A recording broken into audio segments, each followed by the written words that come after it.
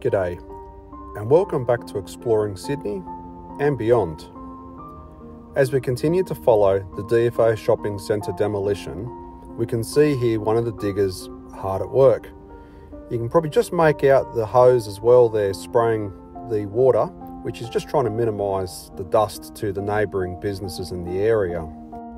So, as we can see here in this aerial shot, the entire northeast side of the building is now completely demolished and flattened, and they're going to continue over to the western side before they start moving towards the front of the building.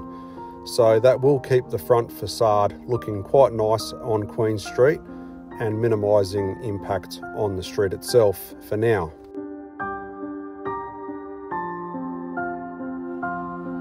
So just as the drone continues to pan around to this side of the building, this was the part of the building that they're about to demolish now. That was where the food court, well, it's still there, but it won't be in the coming days.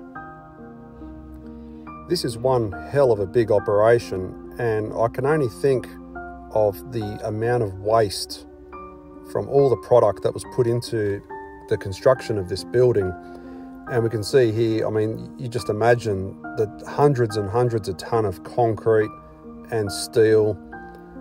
Oh, so this is all just going to go to waste. Um, it's, it's extremely sad. Obviously, some of it, such as the steel, will be recycled. Perhaps the concrete will be too, um, whether they reuse that as some sort of gravel, uh, but I'm not too sure about that. But let's just hope that it does get reused well, that's just a quick update. Don't forget to get out there and explore your world, and I'll see you all in the next video. Take care, and bye bye.